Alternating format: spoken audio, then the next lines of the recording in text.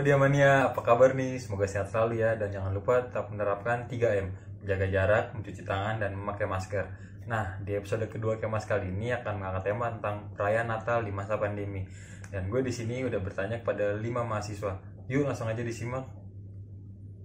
Nama gue Dilan, gue dari Vkom angkatan 2019. Nama gue Kathleen Meli dari Universitas Mustopo, Fakultas Ilmu Sosial dan Ilmu Politik, angkatan 2017.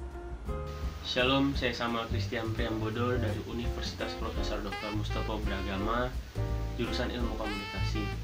Halo, nama aku Sharon Sonia Santika, berkuliah di Sekolah Tinggi Teologi Apais, jurusan Pendidikan. Hai, perkenalkan nama gue Esther Emanuel Tikwalu, mahasiswi IBK 57 Prodi Ilmu Komunikasi tahun 2019. Yang dikangenin sih yang pasti kebersamaannya sih kayak kita kumpul bareng doa bareng kayak kita nyanyi nyanyi bareng nyanyi bareng kayak Kebersamaan bersama keluarga-keluarga terdekat, terus sukacitanya, pokoknya banyak kebahagiaan yang bertebar di Natal. Berkumpul bersama teman-teman gereja maupun berkumpul dengan teman-teman PMK Mustopo dan juga berkumpul bersama keluarga besar, tentunya merayakan Natal bersama-sama dan juga beribadah di dalam gedung gereja itu yang paling kangenin. Pastinya tukar kado dan pelayanan bareng teman-teman di gereja. Kita berkumpul bersama dengan teman, keluarga, kerabat, dan sahabat di perayaan Natal.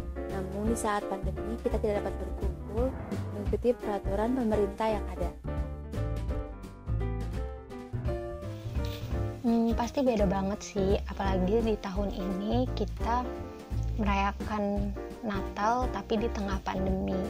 Nah, di tengah situasi seperti ini, kita yang biasanya ibadah langsung ke gereja harus secara virtual dan merayakannya hanya di rumah bersama dengan keluarga doang. Jadi beribadahnya melalui YouTube ataupun Zoom dan merayakannya bersama-sama keluarga doang. Tapi itu nggak mengurangi kebahagiaan Natal di tahun ini kak. biasanya kalau mau Natal itu persiapannya kayak bikin pohon Natal terus hias pohon Natal kayak gini lalu ada beli baju baru atau sepatu baru pokoknya perlengkapan-perlengkapan Natal lalu itu bikin kue kue sagu, kue nastar, kue-kue kering lah harapan Natal di tahun ini semoga kita semua tetap dikasih kesehatan, kesukacitaan, berkat, kebahagiaan. Biarlah damai Kristus, kasih Kristus mengikuti setiap hati kita.